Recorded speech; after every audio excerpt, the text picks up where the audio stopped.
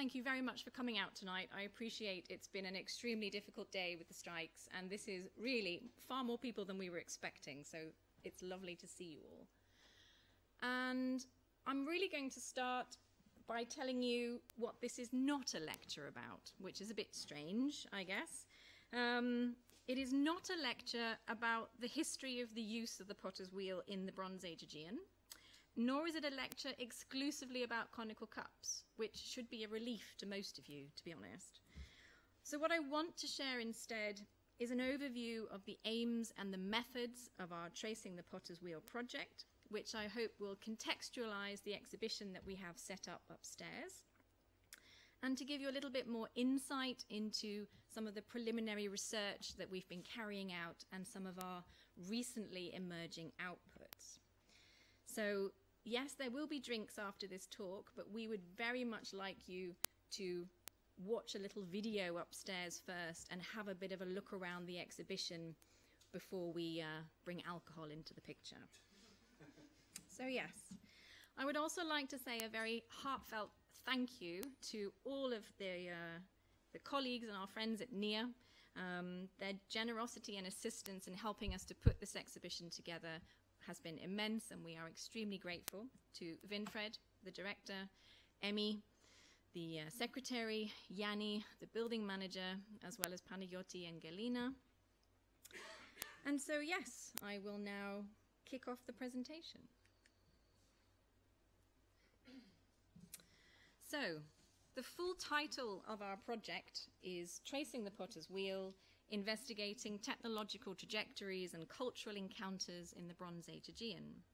As Winfred mentioned, it is part of the Dutch Institute for Scientific Research's national grant system, the Vidi project, and it's based at the Amsterdam Center for Ancient Studies and Archaeology, known as ACASA, and that's hosted at the University of Amsterdam and shared with the Vrije Universiteit in Amsterdam as well.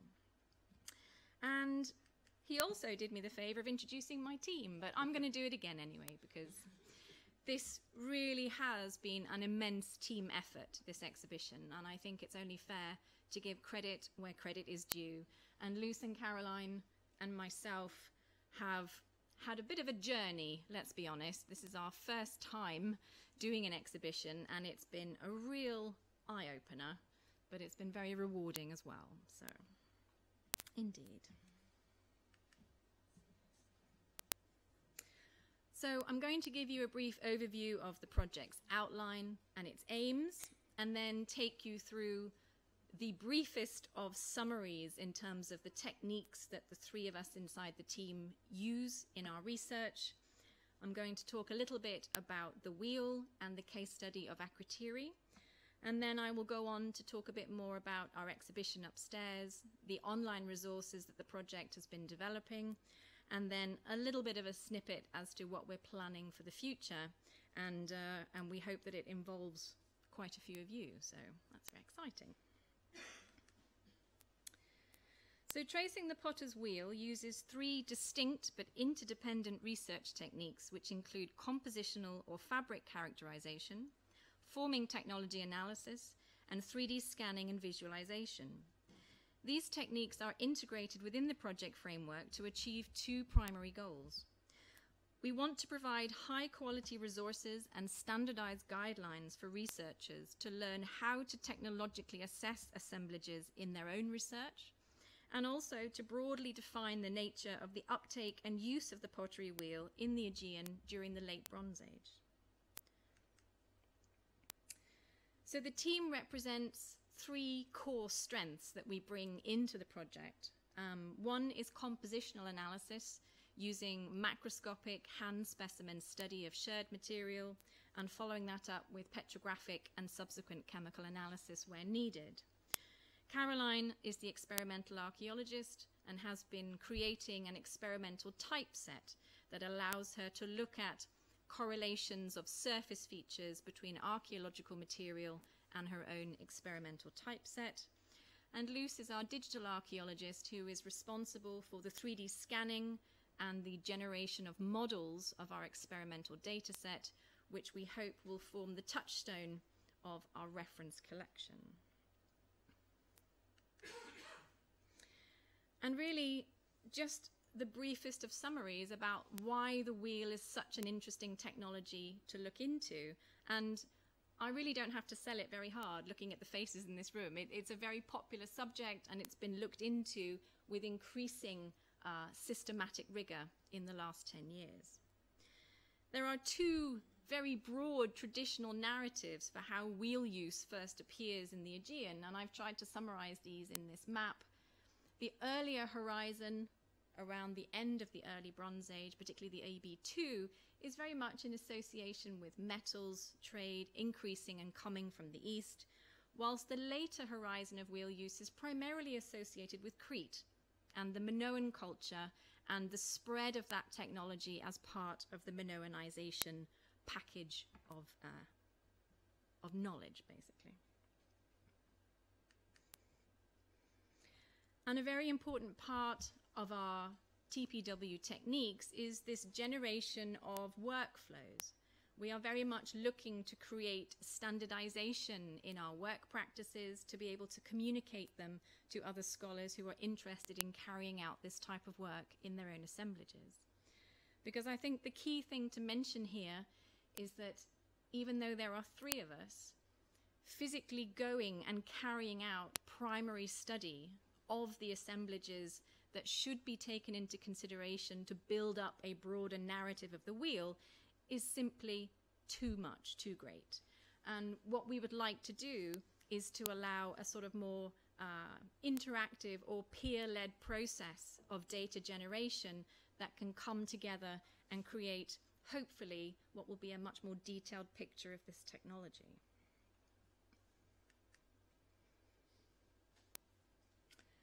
So ceramic technology, it's um, yeah, it's often very difficult to explain to people about technological issues because it is such potentially a, a static concept in books and in exhibitions, when in actual fact it's really dealing with the very dynamics of the way that people interacted with each other in the past. The central questions for ceramic technology are really focused on issues of composition as well as processing and forming techniques. And these are really crucial for identifying the technical or technological choices being made by potters in the past. And we call these choices the stages of the chaîne opératoire or the production sequence. And everything that our project is doing is trying very hard to be explicit about where we link into that production sequence for pottery.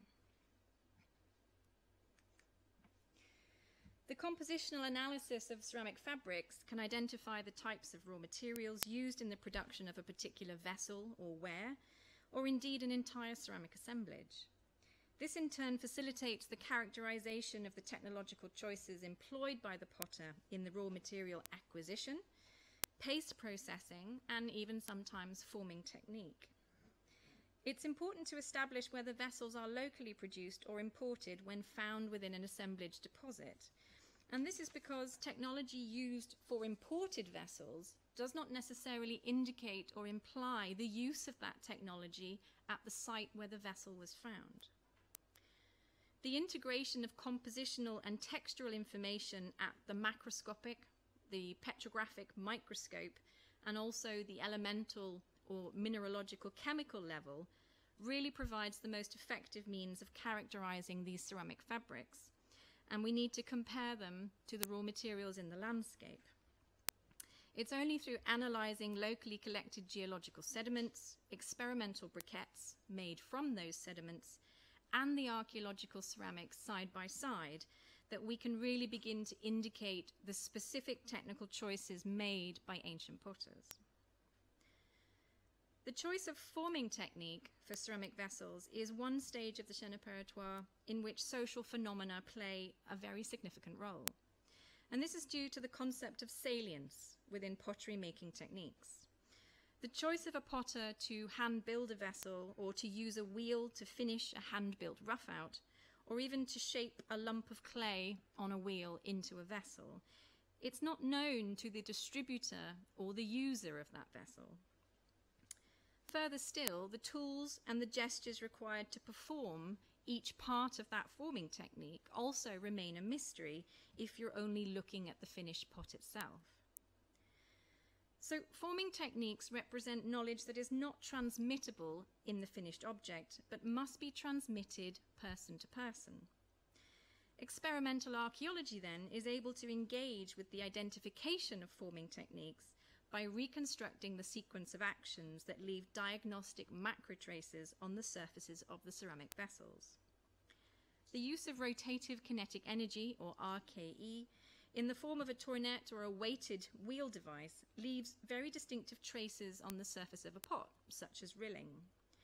If a hand built coiled rough out of a vessel is finished on a wheel, then other subsequent diagnostic traces can form that reveal the initial coiled structure in combination with the rotative kinetic energy, such as S cracks or tension seams.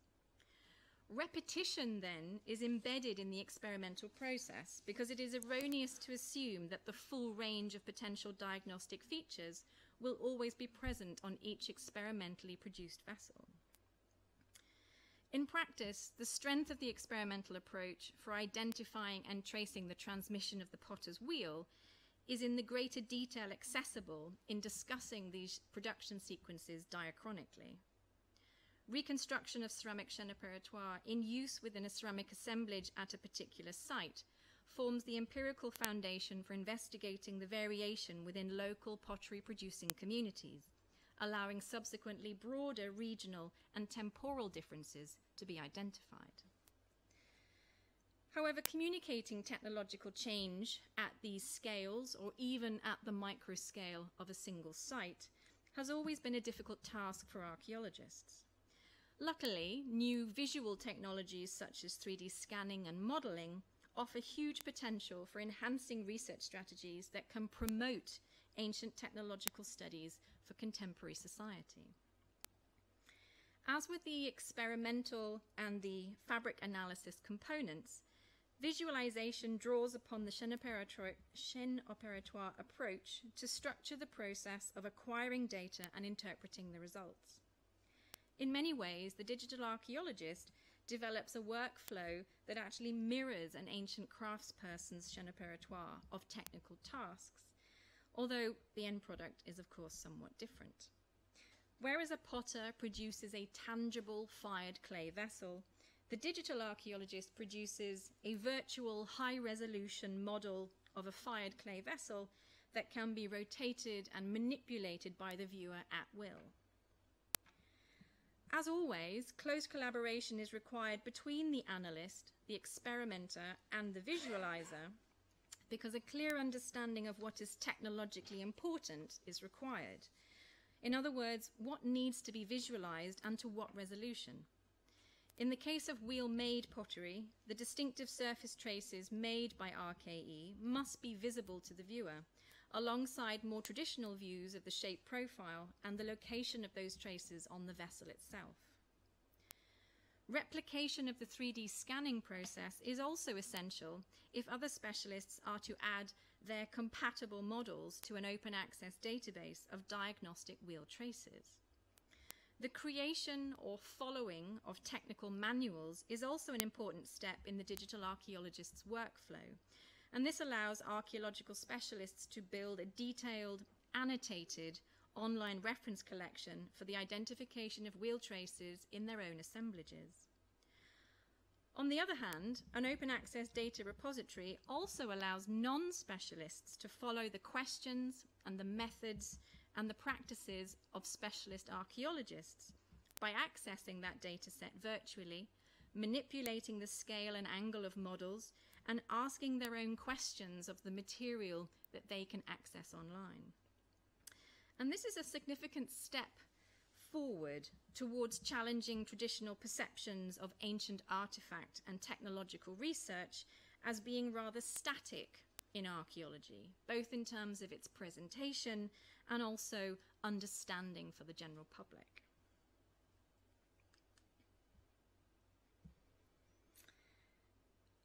Tracing the potter's wheel in the Bronze Age Aegean really, for us, carries with it this sort of ization phenomenon that reoccur seemingly again and again in this region.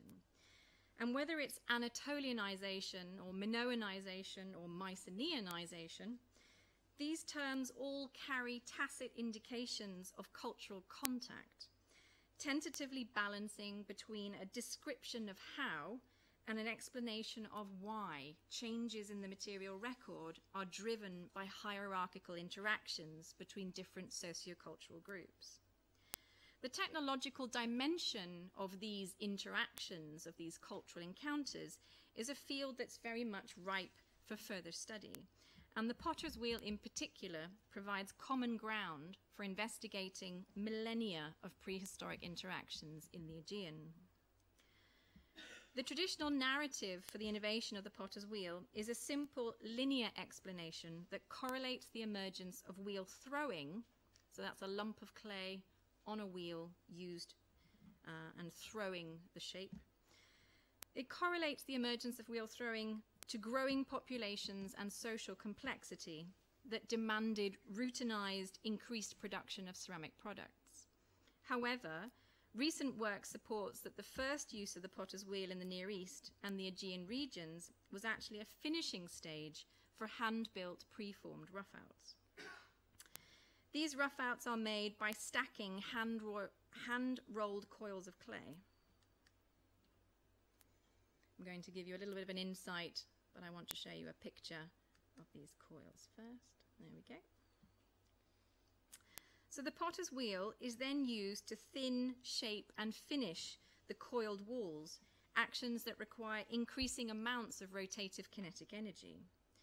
This means that we should see wheel coiling as an intermediate or combination potting strategy, effectively bridging hand building and wheel throwing as we know it today. This distinction is really important for considering how the potter's wheel spread throughout the potting communities in the Aegean. Within the Bronze Age of this region, the appearance of the wheel was considered as two potentially independent events, just as the earlier map with the red and the blue arrows. The earliest horizon of vessels showing wheel use appears during the later Early Bronze II period, known as the Lefkandi I or Castries phase ceramically. And here, the potter's wheel is known to have already been in use via these Western Anatolian trade networks, primarily in use on Anatolia.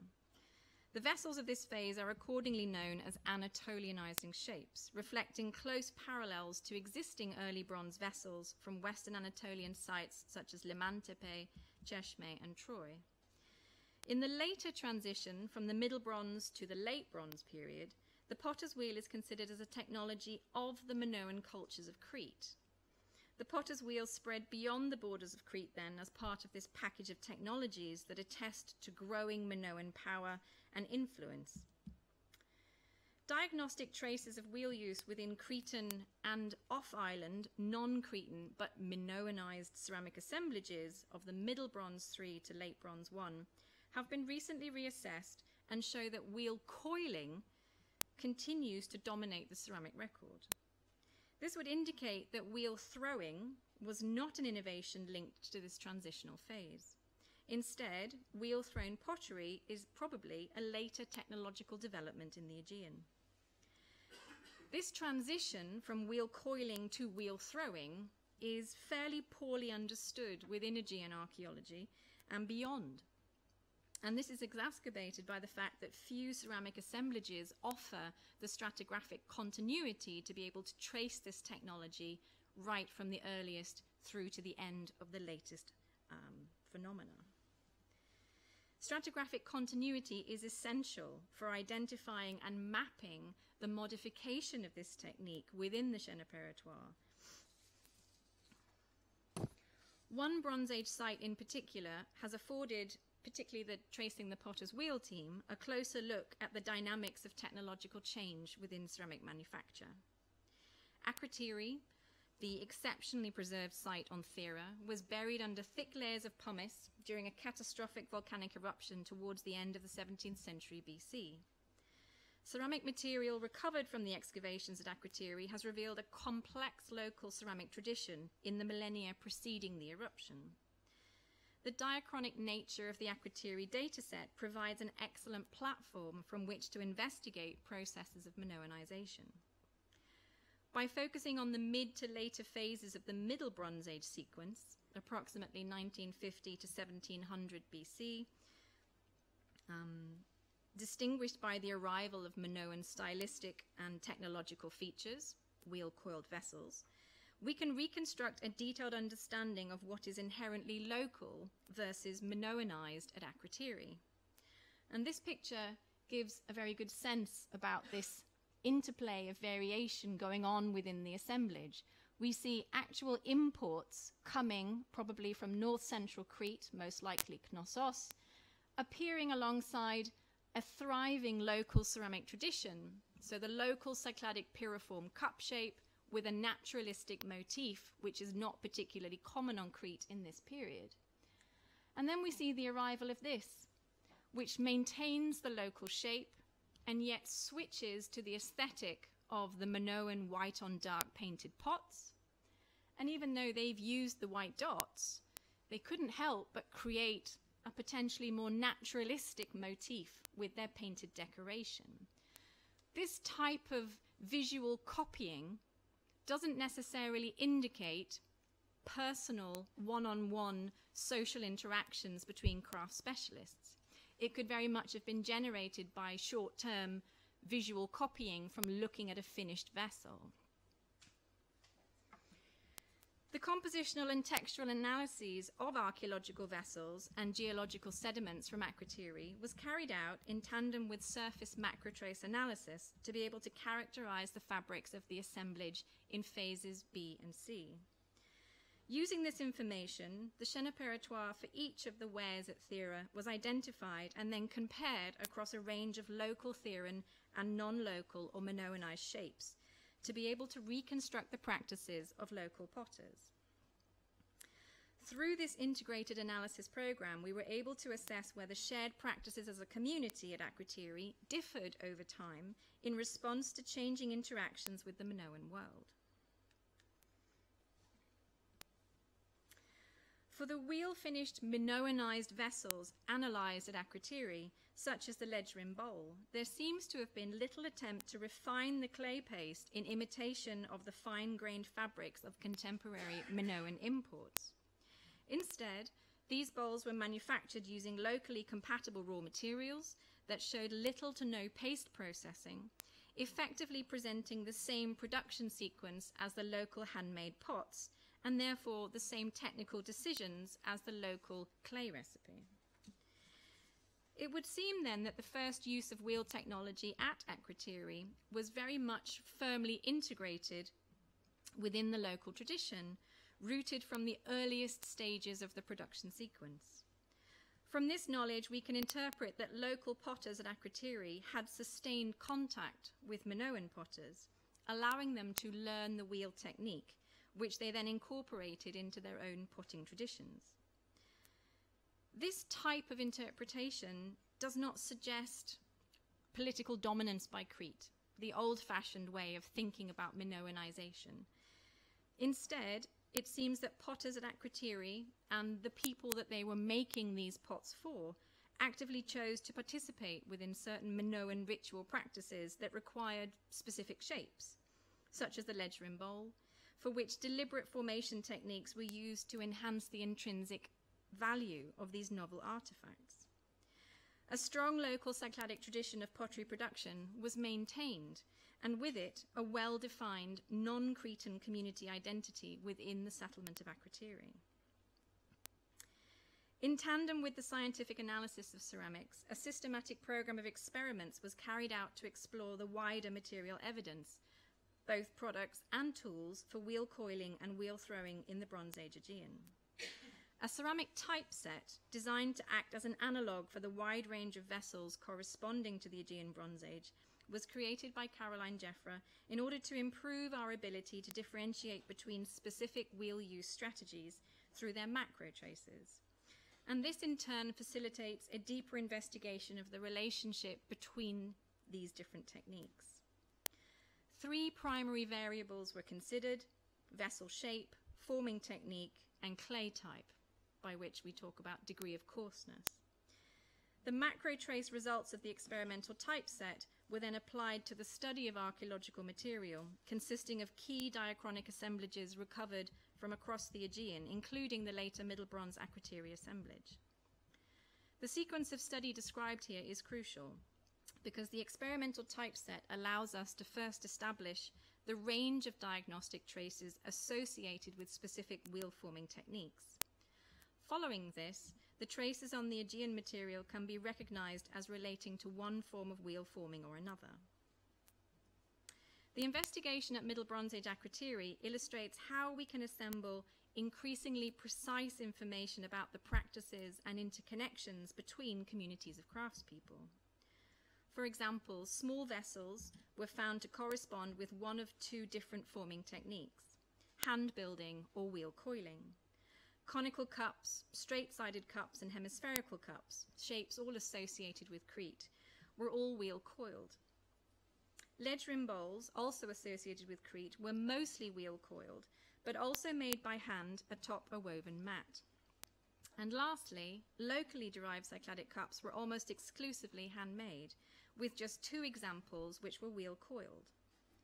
Emerging from this is a picture of technical negotiation, where shapes typical of Crete, as well as shapes typical of Akrotiri and her other Cycladic neighbours, were formed using wheel coiling, alongside some cases of hand building as well. In this way, the experimentally derived data sets support the presence of a network of communication between craftspeople on Akrotiri, forming Cycladic cups, and Crete, forming the other shapes through which the transmission of the potter's wheel technique took place. So far, the technical details that suggest shared craft networks between Crete and the Cycladic community of Akrotiri are only visible and therefore accessible to archaeological specialists with the privilege to work at this site. And it was very much in this vein that we decided that we would like to open up the research that we were doing and the methods that we've been using to allow other people to be able to apply this method to looking into their own assemblages. And also to use the full potential of the 3D techniques to really open up this research to members of the general public, complete non specialists in looking at ceramic technology. So, the Tracing the Conical Cup exhibition is really one tiny little element of our research that's ongoing and how we are trying to speak to people and communicate the results that we've been finding. People have been making the humble cup for thousands of years, whittling them from wood or bone, casting them in metal, or shaping them from clay. However, what's exciting for archaeologists is that the plastic cups of today have a strong connection with ceramic cups in prehistory. All of that variation that we just saw at Akrotiri for these small cup shapes can be uh, can have a sort of parallel with modern production of small cup shapes today.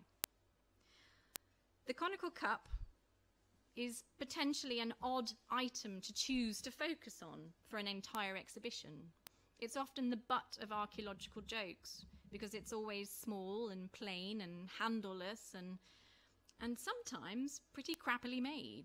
It's often known as crude ware or coarse ware, and you can really really struggle to imagine why somebody would have actually chosen to fire that object in the first place. These little cups are often about four to six centimeters in height, 4 centimeters across the base and 9 centimeters at the rim and have usually a capacity of somewhere between 100 and 180 milliliters. And they're also found in large quantities. And because they're not finely finished or decorated, they have these obvious manufacturing traces left embedded in their surfaces. They first appear within protopalatial deposits on Crete around 1950 BC and can be found right into the final palatial phases. And despite their plain featureless design, they also begin to appear at archaeological sites far from the Cretan palaces of the Minoan culture. So, what made these cups so popular? And how can archaeologists such as the TPW team and others in the Aegean even begin to address this question? There is no doubt that wheel use traditionally has always been bound up with notions of standardization within ceramic production, increased routinization leading to greater economy and pressure to invest less time and effort into making each pot. However, as recent research is now coming to light, by many people in this room, um, we know that the provenance and technology of conical cups demands a reassessment from these earlier models of Minoan presence in the Aegean. Detailed technological studies, such as the ones I've outlined tonight, that focus on fabric analysis and forming techniques, suggest that Cycladic communities, and not just at Akrotiri, but also Phylakopi and Ayia Irini as well, chose which aspects of Minoan society to imitate and participate in. And theirs was really not a slavish attempt to become Minoan, but rather, according to Carl Knappett and Irini Nikolakopoulou, it was instead a deliberate, selective process of emulation engaged in strategically by local communities. So, if conical cups are neither the material expression of population pressure nor an imposed Minoan practice, how can we better explain them? Well, off island communities first emulated Minoan cultural traits through the most iconic of Minoan artifacts, the one produced in its thousands, these conical cups. This fact could actually be key to the rapid adoption of plain handleless vessels across the Aegean. The iconic status of the conical cup may have been just as desirable or powerful an indicator of Minoan identity in the later Bronze Age as it is today for Aegean archaeologists. Highly recognizable, highly distinctive, and bound up with all of these practices. Yet the transition, transmission and adoption of the conical cup package seems to transcend different types of interactions. It simultaneously appears across Crete and at numerous sites off the island of Crete itself. And furthermore, because the conical cup signifies the nascent use of the potter's wheel at many Aegean sites, though it probably appeared much earlier in Anatolia, transmission of which is assumed to have taken place through intensive social engagement between potting communities, and not the intermittent, brief, low intensity contact that visual copying suggests. So the exhibition upstairs is really a chance for us to show how we are approaching the visualization of this forming technology, how we are looking into these small conical cups as ciphers of social interactions, and we're also drawing upon the idea that ceramics were very much the plastic of the past and the impact of that in modern society.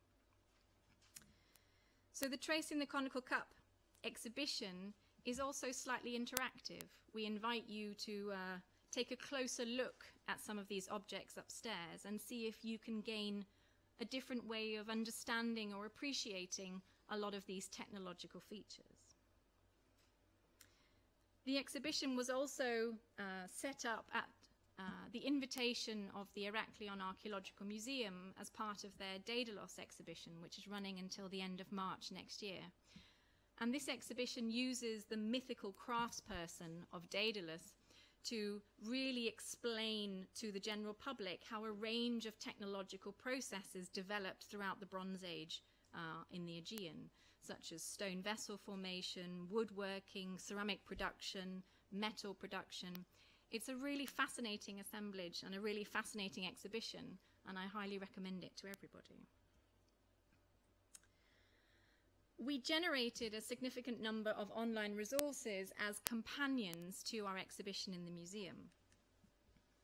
We did this mainly through our working project website, um, tracingthewheel.eu, and we also have a public outreach page through Facebook where people can interact and send comments and questions.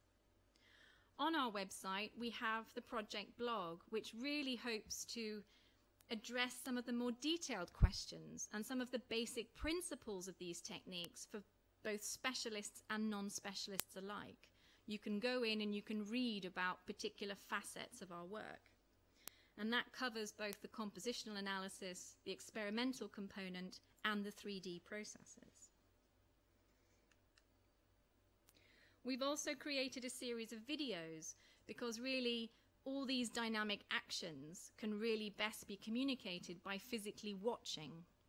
It doesn't necessarily mean that you can make a pot on your own. We know that actually requires one on one contact, but at least it helps people to understand the physicality of the process, the length of time, and what could potentially go wrong.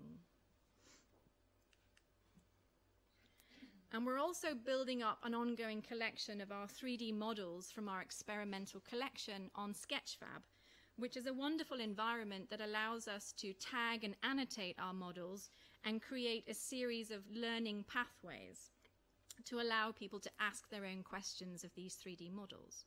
You can also take them and print them out yourself if you have a 3D printer.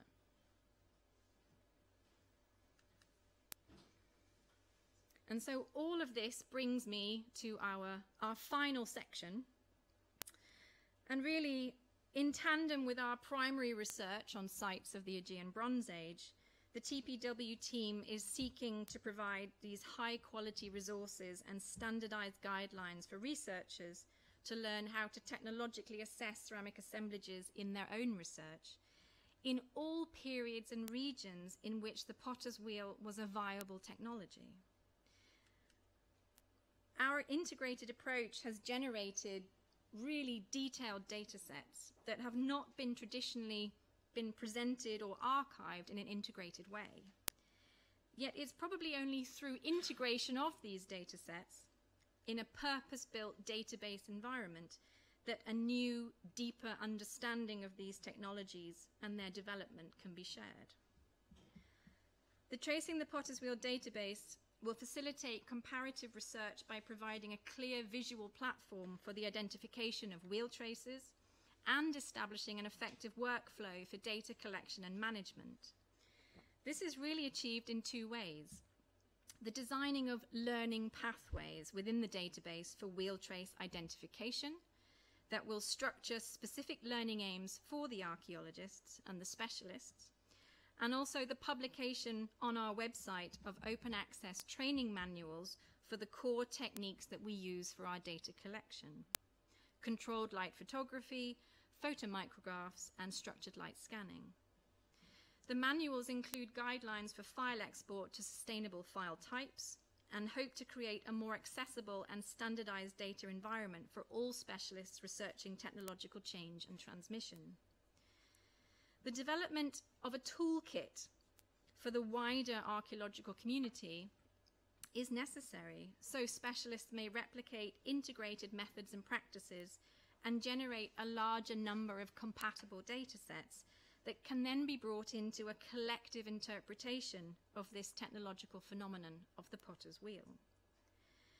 By building up from the foundational strengths of the Chaîne opératoire and explicitly sharing a workflow practice, a common lexicon of terms for wheel use within ceramic production and its study can be established.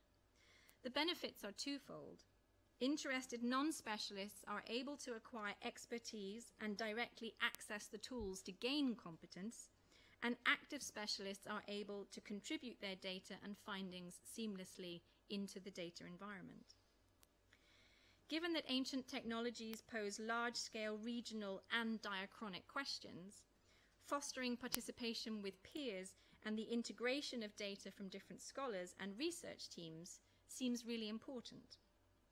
Just as the wheel was introduced into the existing chaîne opératoire of ceramic production, primarily as a bridging technique, the 3D scanner has been introduced to the archaeologist's toolkit, effectively bridging the representations of hand-drawn images and the realism of photographic techniques. And this idea of a tradition in transition not only forms the core of Loes's PhD, but also forms a common thread for the analysis of technological innovation in the past and present practice. Thank you.